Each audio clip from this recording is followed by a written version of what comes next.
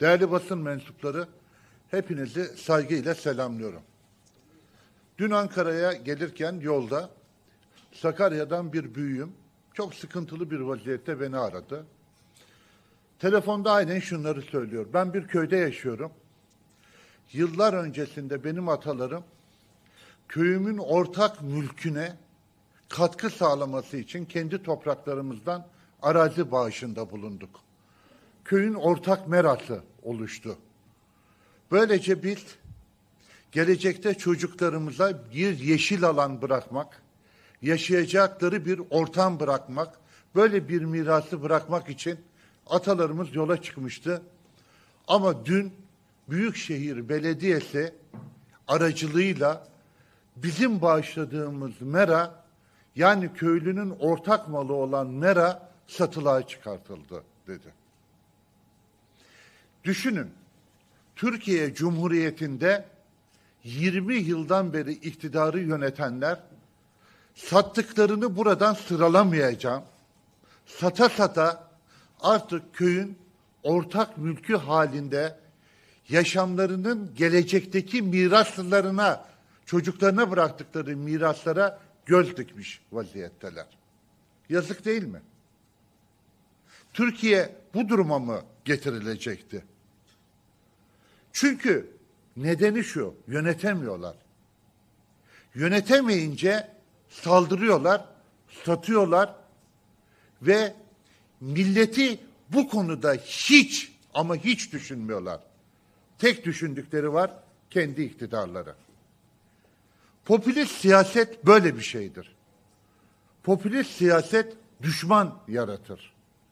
Eğer ülkeyi yönetemiyorsan hangi konuda olursa olsun hemen düşman yaratacaksın. O konuyla ilgili. Onlar teröristtir diyeceksin. Onlar vatan hainidir diyeceksin. Onlar bize ihanet ediyorlar diyeceksin. Ayrıştıracaksın, kamplara böleceksin, savaştıracaksın ve buradan iktidarını korumaya çalışacaksın. Şimdi yeni teröristler zincir marketler. Zincir marketler düşman ilan edildi. Erdoğan da oyunu tam da bu popülist siyaseti kurallarına göre oynuyor. Gıda fiyatları artıyor. Gıda fiyatları artınca bir düşman yaratmak gerekiyor. Çünkü yönetemiyor. Tarımı yönetemiyor. Esnafı yönetemiyor. Araziler boş. Tarlalar boş. Ekilmiyor. Yönetemeyince bir düşman. Kim bu? Zincir marketler. Hemen oraya gönderin zabıtaları, belediyeler denetlemeye başlasınlar. Hatırlar mısınız bilmiyorum. Bu zincir marketleri en çok destekleyen bu iktidar oldu. Mahallenin içine kadar soktular.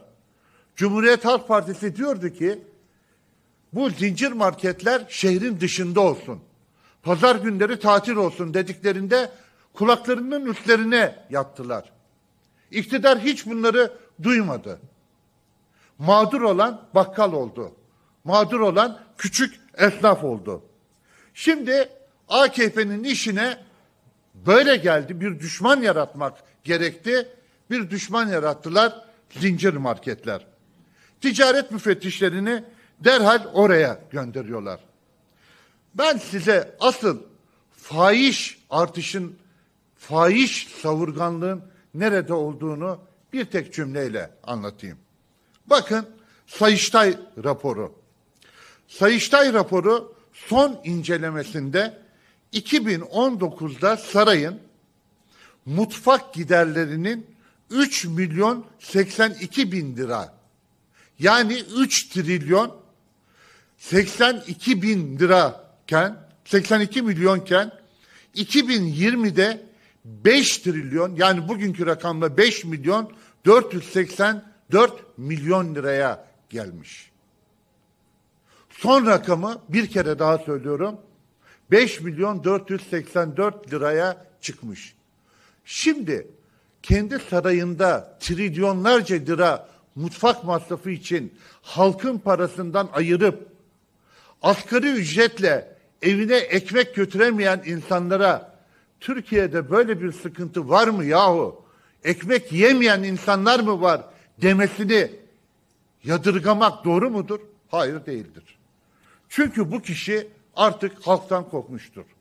İnsanlardan kopmuştur. Milletin ne yiyip ne içtiğinden bir haberdir. Biz öğrencilerin neden sokaklarda yattığını, milletin paralarının nerelere gittiğini göstermek için bu rakamları veriyoruz. Onlarsa TÜİK'in rakamlarıyla kendilerine savunmaya geçiyorlar. TÜİK'in rakamlarına inanmıyoruz, halkın rakamlarına, gerçek rakamlara inanıyoruz. Bakın fahiş fiyat artışının nedeni zincir marketlerde değil, nerede? Gıda fiyatları artıyor. Çünkü bir yılda gübre fiyatının artışı yüzde 230'u buldu. Sülfat gübrenin fiyatı geçen yılın Haziran ayında 940 liraydı. Peki şimdi ne kadar? Şimdi 3100 liradan satılıyor. Geçen yıl 940 lira olan gübrenin fiyatı bu sene 3100 lira. Peki nasıl artmasın gıda fiyatları? DAP gübresi 2250 liradan 6900 liraya çıkmış. Tohum fiyatlarında son bir yıldaki artış yüzde 25. Mazot fiyatlarındaki artış yüzde 20. Yem fiyatlarındaki artış yüzde 60. Girdi bu kadar büyük olunca devlet bu ürünler üzerinden ÖTV uygulayarak elini oraya atınca mağdur olan kim oluyor? Mağdur olan çiftçi oluyor. Çiftçi üretemiyor, üretse kazanamıyor. Bu ikilem içerisinde AKP'nin tarım politikasına da ayak uyduramıyor. Aslında AKP çiftçi Hasan'ı düşünmüyor. AKP Hans'ı düşünüyor. Neden mi? Çok net ifade ediyorum. Nohut, mercimek, buğday, arpa, mısır, yulaf, temel gıda ürünleri neredeyse tamamı. Gümrük vergisi sıfır. Gübreye dünya vergi yükü yüklüyorsun. Mazota yüklüyorsun. Tohuma vergi yükü yüklüyorsun. Ama dışarıdan gelen gıdalara hiç vergi yükü yok. Sıfır vergiyle yurt içine sokuyorsun. Sen Türkiye'de yaşayan çiftçiye düşman mısın? Açık olarak söyle. Sen millete düşman mısın? Açık olarak söyle. Sen Türkiye'de sadece saray ve yandaşları mı yaşıyor sanıyorsun? Açık olarak söyle. Sen trilyonlarla saraylarında yatarken, millet açlıktan kırılırken, sen neden emperyalist ülkelerin, başka ülkelerin çiftçilerini destekliyorsun da Türkiye Cumhuriyeti'nin çiftçilerini desteklemiyorsun? Neden onlara vergi yükünü koymuyorsun da bizim çiftçimize, bizim milletimize vergi yükü koyuyorsun? Bizim milletimizden, çiftçimizden, esnafımızdan, öğrencimizden ne istiyorsun, derdin ne? Bunu bir an önce açıklaması gerekiyor Recep Tayyip Erdoğan'ın. Ama Recep Tayyip Erdoğan ülkeyi yönetemiyor. Bakın bir ülkenin yönetimi liyakatla mümkündür. Göreve getirdiği adamlarla mümkündür. Damadını getirdi, kaçtı, gitti. Merkez Bankası'na bir sürü atama yaptı, bıraktılar, gittiler. Şimdi yeni Merkez Bankası. Merkez Bankası Başkanı'na birkaç gün önce sormuşlar. Türkiye'nin risk primi yani CDS neden yüksektir diye. Şöyle cevap vermiş. Bu kadar yüksek olmasına anlam veremiyorum. Anlayamıyor bu kadar yüksek olmasını. Bazı gelişmekte olan ülkelerin gündelik hayattaki risk Türkiye'den çok daha fazla. Şimdi burada rakamlarla ilgili bir şey söylemesi gerekiyor. Çünkü riskin nerede olduğunu Merkez Bankası Başkanı'nın biliyor olması gerekiyor. Diyor ki, zenginler saldıranlardan korunmak için çok yüksek duvarlar arkasında evlerde yaşamak zorunda kalıyorlar. Dışarıda, başka ülkelerde. Buna karşılık bu ülkelerdeki risk birimi yüzde birimi 170 iken Türkiye'de 400'ün üzerinde olması mantıklı, haklı görmüyorum diyor. İşte Merkez Bankası'nın başındaki adam. Değerli arkadaşlar, CDS ne demek olduğunu Merkez Bankası Başkanı bilmeli ama herkesin bilmesi gerekmiyor. Ama en çok onun bilmesi gerekiyor. Ama bir Merkez Bankası paramızın değerli yerde sürünüyorken, yoksul halk enflasyon altında eziliyorken CDS'in ne olduğunu bilmiyorsa bu çok vahim bir skandaldır. CDS ülkelerin sokakta hayatta kalma riskiyle değil, ülkelerin borçlarını geriye ödemesiyle ilgilidir. Yani ekonomiyle ilgili bir terimdir. Bir ülkenin borcunun geriye ödeme riskinin olması demektir. Borç verenler senin bu borcu geriye ödemekte zorlandığını düşünüyorlarsa o zaman CDS'e yükselir. Yani zenginlerin sokakta saldırıya uğramasıyla ya da duvarlarını daha da yükseltmesiyle ilgili bir şey değildir CDS. Gerçeklerden kopuk saray dolar 8 lira 30 kuruştan 8 lira 88 kuruşa çıkıyor. Sarayın gözü kapalı, kulağı duymuyor. Yani Türk lirası yüzde altı değer kaybetti bu süreç içerisinde. Hazinenin raporunda yer alan hesaplamaya göre devletin borcu 76 milyar lira arttı. Tam 76 milyar lira. Neden öğrencilerimiz sokakta? Yurt olmadığı için. Neden çiftçimiz mağdur durumda? Gerekli destek verilmediği için. Paralar nereye gidiyor? Paralar işte böyle ekonomiyi yönetenlerin sonucunda Türk lirasının bu şekilde aşağıya çekilmesine, borçlanmaya ve faize gidiyor. Faiz denince devletin borcu azalıyor mu? Liyakatsızlık tam da budur. Azalmıyor, devletin borcu artıyor. Sonra sonra yeni teröristler. Kim terörist? Yeni terörist marketler zinciri. Değerli arkadaşlar, bugünlerde sokaklarda yatan öğrencileri görüyoruz televizyonlarda. YÖK'ün verilerine göre Türkiye'de 3 milyon 801 bin üniversite öğrencisi var.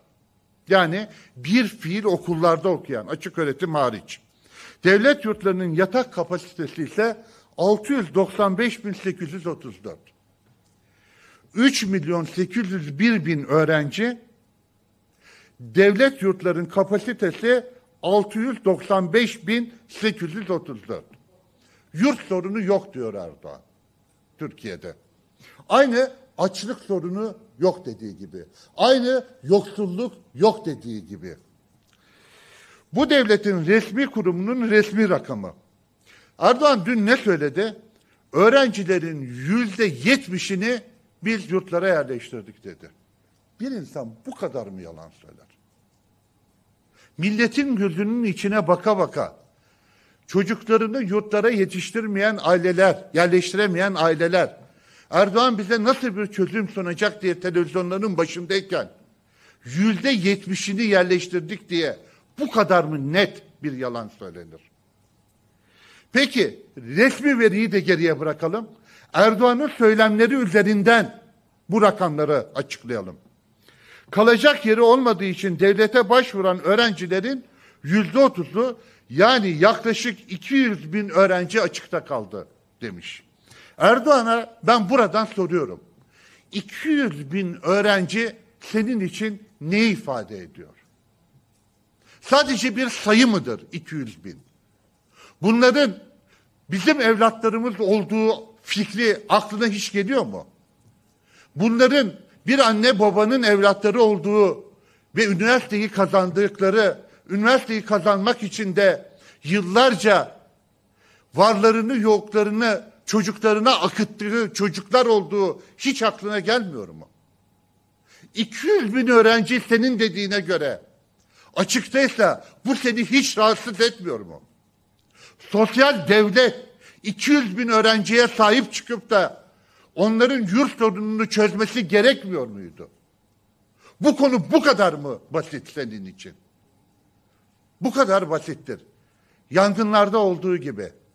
Ormanlar yanacak, hayvanlar yanacak, canlılar yok olacak, çığlıkları duyulacak ama sen diyeceksin ki kaç baş hayvan yandı parasını veririz diyeceksin. Sen canlıya böyle bakıyorsun, sen insana böyle bakıyorsun. Şimdi kalacak yeri olmayan öğrenciler ikinci teröristler. Marketler öyle, onlar da terörist. İçişleri Bakanı açıklıyor. Şu kadarı şu terör örgütüne, bu kadarı bu terör örgütüne. Boğaziçi Üniversitesi'ndekiler terörist. Milletvekilleri herhangi bir açıklama yaparlarsa terör odaklarıyla beraber aynı açıklamayı yapıyorlar. Herkes düşman. İşte popülist siyasetin karşılığı. Biz buradan bütün öğrencilerimize net olarak söylüyoruz. Bir yıl içerisinde Kemal Kılıçdaroğlu'nun sözüdür, Cumhuriyet Halk Partisi'nin sözüdür. Bir yıl içerisinde biz bu sorunu çözeceğiz ve açıkta kalan hiçbir öğrencimiz olmayacak. O bazı şeyleri söylerken küçümseyerek söylüyor. Öğrencilere ne veriyoruz biliyor musunuz? 650 lira e, diyor. Ben şimdi buradan söylüyorum.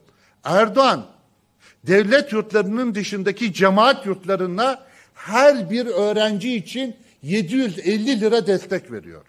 Her bir öğrenci için.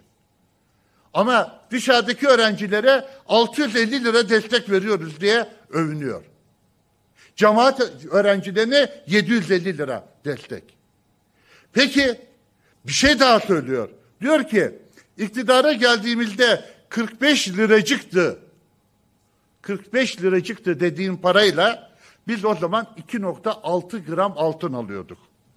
650 lirayla tam yarısı 1.3 gram altın alıyoruz. Sen 2.6 gramın karşılığı olan parayı okuyan öğrencilere ver, cemaat yurtlarında kalan öğrencileri destekleyip onlarla bunları ayrıştırma. YÖK'ün verilerine göre bir rakam daha verip bu konuyu kapatmak istiyorum. YÖK'ün verilerine göre İstanbul'daki öğrenci sayısı 802 bin arkadaşlar. Devlet yurdunun yatak kapasitesi İstanbul'da 24 bin. Sadece İstanbul 802 bin, 24 bin. Öğrencilerin sadece yüzde üçüne yetecek kadar kalacak yer var. Allah bu insanları ıslah etsin. İnsanlarımızı anlayacak hale getirsin. İnsanlarımızın feryatlarını duyacak hale getirsin. Çözüm, çözüm milletin iktidarında, çözüm ortak akılla ülkeyi yönetecek olan Cumhuriyet Halk Partisi'nin bir yıl içerisinde bu sorunu çözmesi için verdiği sözün tam da arkasındayız. Çözüm budur. Çözüm milletini düşünen, ülkesini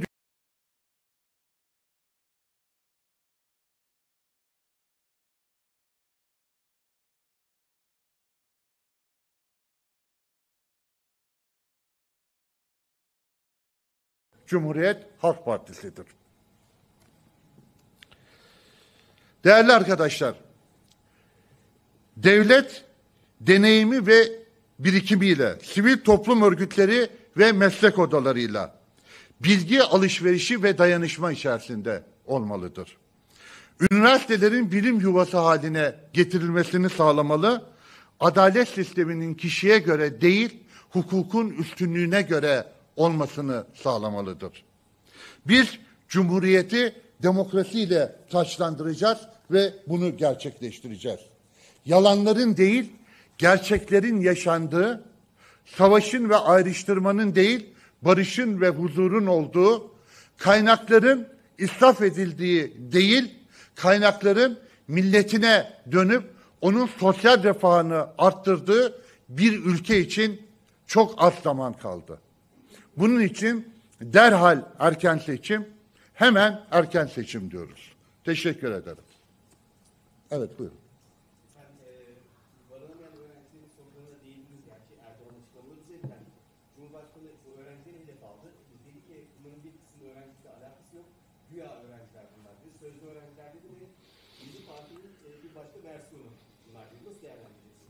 Açıklamamda söylediğim gibi arkadaşlar Erdoğan kendisine muhalefet yapan herkesi düşmanlaştırıyor. İktidarı eleştiren, sarayı rejimini eleştiren herkes terörist ve düşman ilan ediyor. Erdoğan'ın ilan ettiklerini eğer terörist olarak kabul edersek Türkiye'nin dörtte üçü terör örgütüdür. Türkiye'nin dörtte üçü. Çiftçiler teröristtir. Erdoğan parmağını sallayıp da ananı al da git buradan diyor. Esnaf teröristtir. Yediğiniz önünüzde yemediğiniz arkanızda diyor. Öğretmenler teröristtir. Doktorlar teröristtir. Öğrenciler teröristtir. Akademisyenler teröristtir. Cumhuriyet Halk Partililer teröristtir. İyi Partililer teröristtir. Herkes teröristtir. Kendisinin arkasında durmayan yandaşların dışındaki herkes Erdoğan'ın teröristidir. Türkiye için en büyük tehlike işte budur. Türkiye Cumhuriyeti'ni dünya ülkelerinde bu kadar güçlü kılan en önemli şey 100 yıllık birlik ve beraberliktir. Eğer bu birlik ve beraberlik dağılırsa sonucu Orta Doğu'da gördüğümüz ülkelerin durumuna düşer Türkiye. O yüzden biz bu ayrışmaya karşıyız. Bizim için mesele AKP, CHP, MHP, İyi Parti, HDP meselesi değildir. Bizim için mesele siyaset ve politika değildir. Bizim için mesele vatan meselesidir, millet meselesidir, bayrak meselesidir, ülkenin demokrasiyle özgürlük içerisinde yönetilmesi meselesidir. Bizim için mesele ülkenin ayrıştırılmamasıdır. Bizim için mesele birlik ve beraberliktir. Buyurun. Dün HDP e, tutum belgesini açıkladı efendim. Orada e, Kürt sorun çözümü noktasında meclis işaret edildi, meclis zemin olabileceği ifade edildi. HDP'nin üzerine düşen rolü yerine getireceği söylendi. E, metnin hiçbir yerinde de İmralı'nın Öcalan ifadesi kullanılmadı. Buna ilişkin yorumunuz ne olur? Bir de parlamento seçimleri için ittifak arayışları, arayışları olmadığı söylenir ama Cumhurbaşkanlığı seçiminde ister HDP'li ister başka bir isim olsun ilkeleri gözetecekleri bir partiler. Bu iki konuya dair yorumunuz ne olur? HDP başka bir siyasi partidir. Ee, kendi görüşleri vardır, açıklarlar. Ee, biz her siyasi partinin görüşüne saygı duyarız. Her siyasi parti kendi görüşünü Türkiye'de açıklama özgürlüğüne sahiptir. Ancak bizim doğrularımız çok nettir. Biz layık, demokratik, güçlendirilmiş parlamenter sistemi istiyoruz. Biz Türkiye'nin her sorununun ayrıştırılmış bir sorun olarak görmüyoruz. Her sorunu Türkiye'nin sorunu olarak görüyoruz. Biz Cumhuriyet Halk Partisi olarak Türkiye'nin her sorununun parlamenter sistemde Türkiye Büyük Millet Meclisi'nde çözülebileceğine inanıyoruz. Bunu ilk defa güçlü bir şekilde Türkiye'nin gündemine taşıyan lider Cumhuriyet Halk Partisi'nin lideri Kemal Kılıçdaroğlu'dur.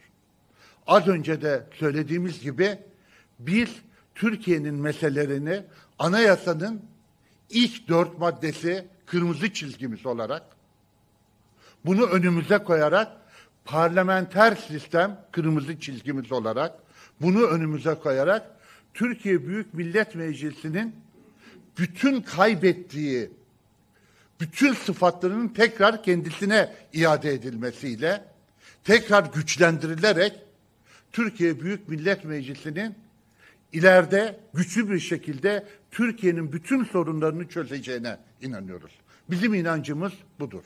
Diğer siyasi partiler kendi arayışlarını, kendi söylemlerini, kendi bakış açılarını anlatabilirler. Ama Cumhuriyet Halk Partisi bundan 10 yıl önce ne söylüyorsa bugün de aynı şeyi söylüyordur ve söylediği yerdedir. İttifak arayışlarını biz başkaları ne yapıyor, ne ediyor bilemeyiz. Ama biz başından beri ittifak içerisinde olduğumuz bir millet ittifakı vardır. İyi Parti ile ve Saadet Partisi ile ittifak halinde seçimlere girdik. Bugün de o ittifakla seçimlere girdiğimiz günden beri genel başkanlarımızın arasında Türkiye'nin geleceğiyle ilgili kaygı duyduğumuz her noktayı bir araya gelerek çözüm önerilerimizi birbirimize ileterek yeri geldiği zaman ortak fikirlerimizi, yeri geldiği zaman partilerimizin fikirlerini kamuoyuyla paylaşarak şeffaf bir şekilde kapalı kapılar ardında değil, millete duyurarak bir yol alıyoruz ve bu yolu devam ettirmek ve tamamlamak niyetindeyiz. Millet İttifakı'nın alacağı kararlara saygı duyuyoruz ve bunun daha da güçlendirilerek Türkiye'de demokrasiden yana, haktan ve hukukun üstünlüğünden yana herkesin Millet İttifakı'na verdiği destekle bu ittifakın daha da güçlenip daha da büyüyeceğine ve iktidara geleceğine inanıyoruz. Buyurun. Yani buna paralel bir sorun oldu. Sayın Akşener'in açıklaması oldu. Ben Cumhurbaşkanlığı Başbakanlığı adayım diye e, ve iddialıyım dedi bu konuda. E, İYİ Parti kulisleri bazı yerden örneğin mesela şey dedi. E, bu dedi aday kim olacak kırılma noktasının önüne geçildi. Bu açıklamayla dedi ve Sayın Akşener dedi. E, ülkeyi yönetmeyi tarihi zor olan tarihi dedi. Siz bu açıklamayı nasıl değerlendiriyorsunuz? Az önce de ifade ettiğim gibi hem Millet İttifakı'nda hem de Millet İttifakı'nın dışındaki bütün siyasi partilerin görüşlerine saygı duyuyoruz. Kendi siyasi parti ideolojileri içerisinde aldıkları kararı kamuoyuyla paylaşmalarına çok büyük saygı duyuyoruz. Bunu sonuna kadar destekleriz. Ee, çünkü e, demokrasilerde siyasi partiler birbirlerini dinlemeliler. Ee, demokratik ve e, söylemler konusunda birbirlerine destek vermeliler. Biz bu konuda bizim dışımızdaki siyasi partilerin söylemlerini dinliyoruz ve saygı duyuyoruz.